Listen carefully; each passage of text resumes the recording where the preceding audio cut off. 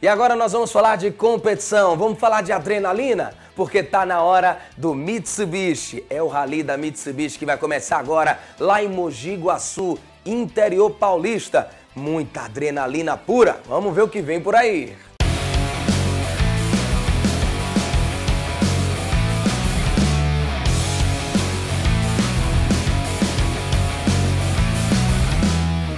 Três provas simultâneas de rally abrem o ano do off-road da Mitsubishi Motors, num mega evento 4x4 em Mogi Guaçu, interior de São Paulo. Isso vai ser no dia 24 de março.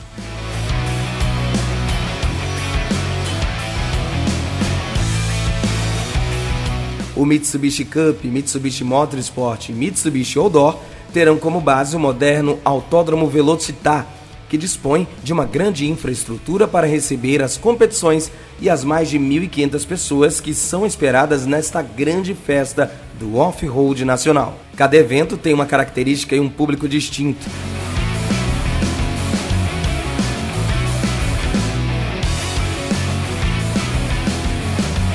As competições acontecem há mais de 24 anos e buscam proporcionar experiências únicas aos proprietários dos carros da marca e um dia inesquecível para toda a família.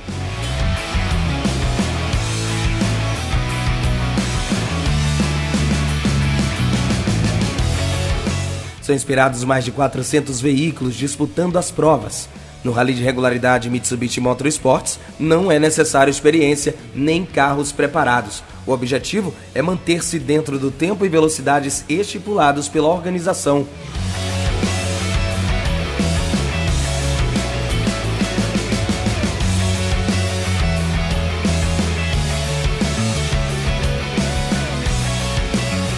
O Mitsubishi Outdoor é um rally de estratégia e tarefas que mistura atividades de aventura com off-road, proporcionando um dia repleto de atividades. As equipes são formadas por dois carros e até 10 pessoas, o que permite que toda a família participe.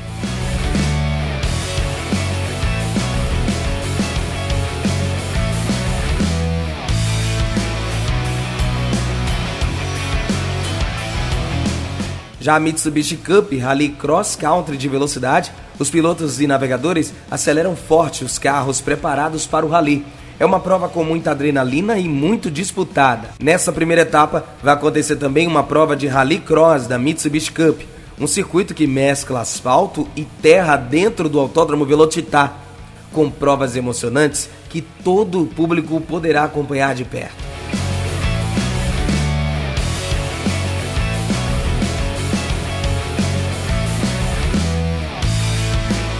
As inscrições para o Rally estão abertas na próxima segunda-feira através do site mitsubishimotors.com.br.